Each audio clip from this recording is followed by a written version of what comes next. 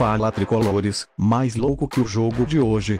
Haja coração amigos, vamos treinar penaltis até de madrugada caralho. Paraná versus Estancianos pela Copa do Brasil, nosso matador Lúcio Mito Flávio errou apenas dois penaltis, mas não vamos se preocupar, como dizia um mito Charlie Brown, dias de luta dias de glória, primeiro gol, foi da hora, golaço, do Valber, só ajeito e meteu a pelota no cantinho. Olha essa cambalhota, o futebol ainda respira. Viva o Danone, esse timinho de Sergipe é encardido. Tiveram três expulsos, choram demais do mimi vem pra luta com os alfós filha de uma chana. Tira essa mensagem dai, ninguém quer saber disso. Ai começou o show de horror.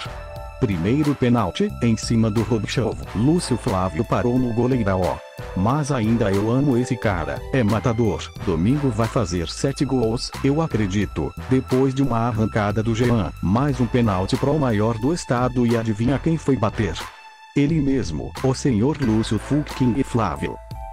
Cavadinha de querrola, estoura esse goleiro. Aqui nós é bruto, sem coisa de jogador marrento. Mas puta que o pariu, os cara vê que nós não faz gol de penalti e quer ficar zoando nós, erros de puta. Mas dessa vez foi a máquina Jean.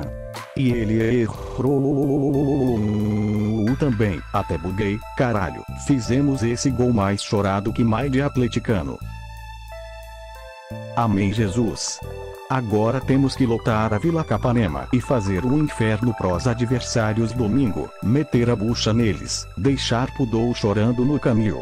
Quem vai domingo, deixa seu like e um comentário. Se puder, chegue uma e meia da tarde para recepcionar os jogadores. Vamos que vamos, dale tricolor.